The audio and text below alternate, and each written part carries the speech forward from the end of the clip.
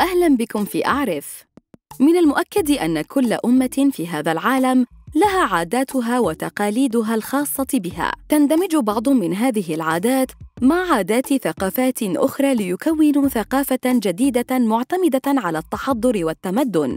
ولكن حتى أيامنا هذه هناك قبائل في هذا العالم يحافظون على بعض العادات والتقاليد الغريبة جداً والتي يمكن أن تصدمنا نحن كأشخاص متحضرين ويعرف بعض من هذه القبائل بالقسوة البشعة والبعض الآخر بتقاليد خاصة جداً اليوم في أعرف سنشاهد معا في هذا الفيديو أشخاصاً يعيشون حياتهم بطريقة تختلف كثيراً عن حياتنا التي نعيشها جميعاً.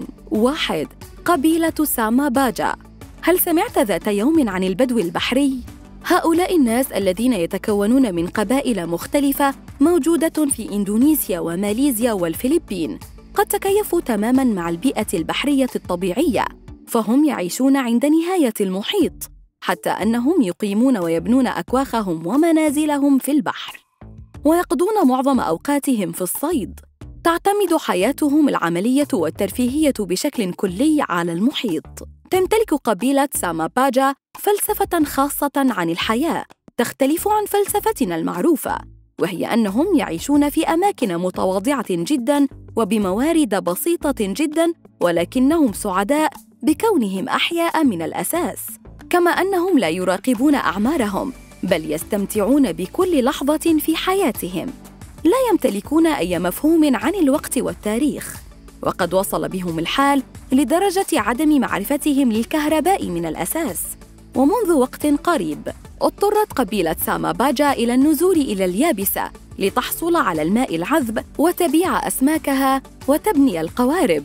ولكنهم ظلوا محافظين على البقاء معظم أوقاتهم في مياه البحر.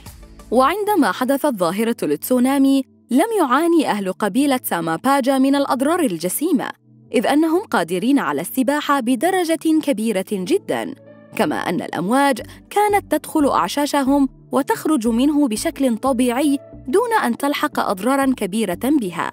وأكثر ما هو مدهش في هذه القبيلة أن معظم أهلها أصبحوا قادرين على حبس أنفاسهم داخل المياه لمدة خمس دقائق أو أكثر من ذلك.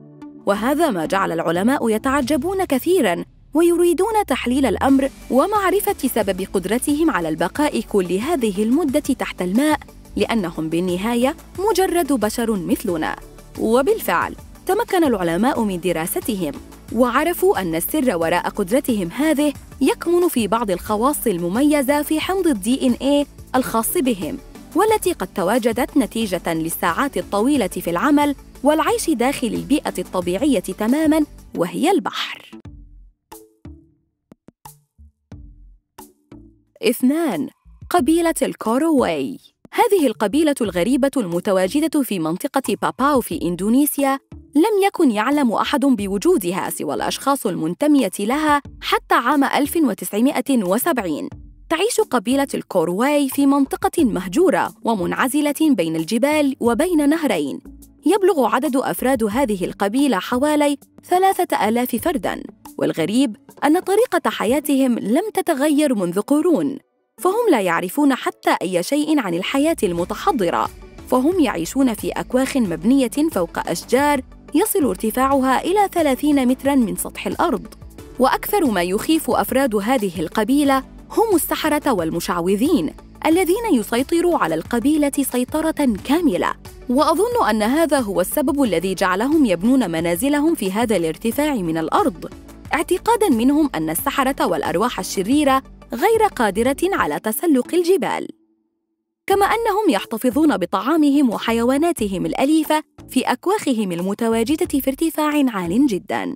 تستخدم هذه القبيلة كل شيء لتطهوه أي أنها تطهو أوراق الأشجار وفروع الأشجار وجذوعها ثم يضيفون إلى الطعام اللحوم والأسماك وبعض التوابل التي يجدونها مزروعة في الأرض.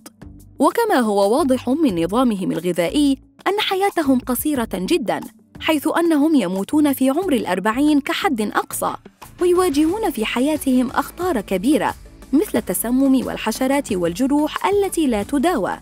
نتج عن كل هذه الأشياء وعن الحياة الأكثر من بدائية بشكل عام أمراضاً نادرة وخطيرة جداً لم يتعرف الإنسان على أسبابها حتى الآن. وما زالت تعيش قبيلة كوروواي بالرغم من الأعداد الكبيرة للموتى والتي تذهل الباحثون.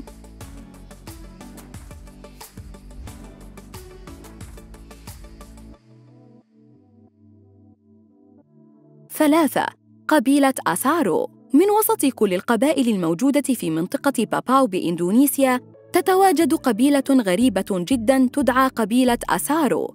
ليس من الصعب على الإطلاق أن تتعرف على أفراد قبيلة أسارو حيث أن أجسادهم تغطى بالطين ويرتدون أقنعة مصنوعة من الطين الفخار. ويرجع سر تقديس هذه القبيلة للطين إلى أنها قد كانت تقاتل قبيلة أخرى معادية لها. وذات يوم كان جيش القبيلة الأخرى قادم ليقاتل قبيلة آسارو ولكنه وجد كل الرجال ممتلئين بالطين فظنوا أنهم أرواحاً شريرة فهربوا مسرعين.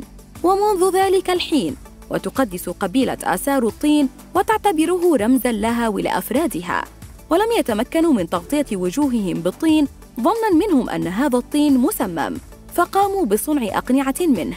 وما زالت القبيلة حتى الآن ترتبط بعاداتها وتقاليدها البدائية. ولكنها لا تستخدم تلك الأقنعة إلا في المناسبات والأعياد القومية.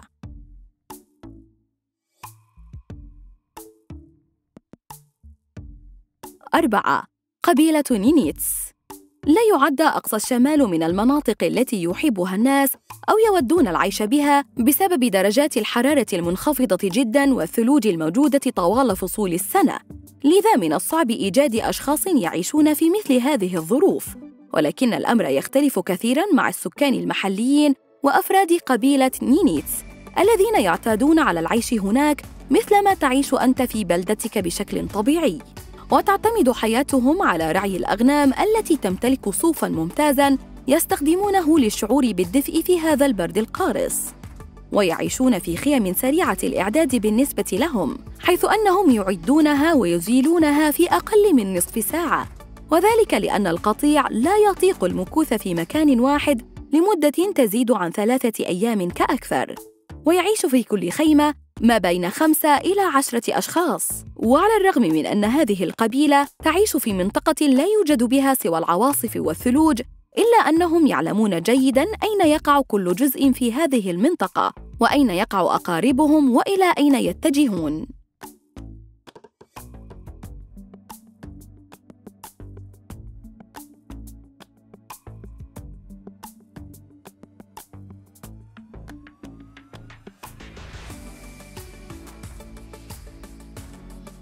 خمسة قبيلة دوغون. تعتبر هذه القبيلة من أغرب القبائل الموجودة في قائمتنا.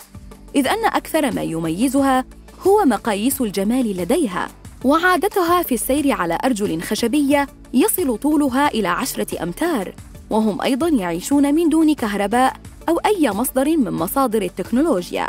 تتغذى هذه القبيلة على بعض الخضروات والفاكهة المحدودة التي تزرعها بأيدي أفرادها. وما زال أفراد القبيلة يقدسون عادات وتقاليد القبيلة المتوارثة منذ قرون عديدة ومن أكثر العادات المتشبثين فيها هي استمرار انفصالهم عن العالم الخارجي وعن أي وسيلة تواصل بينهم وبين الآخرين الغرباء.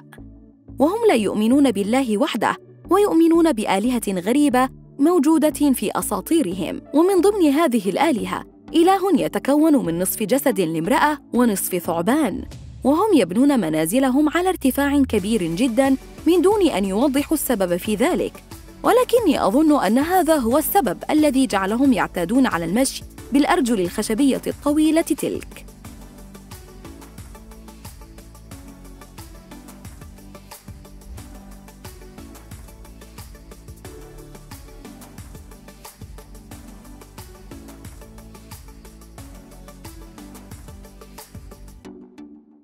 أتمنى أن يكون الفيديو قد أعجبكم. أخبرونا في التعليقات. أي من هذه القبائل أدهشكم؟ وهل تستطيعون الحياة بدون كهرباء أو إنترنت؟ أراكم في الفيديو القادم. إلى اللقاء.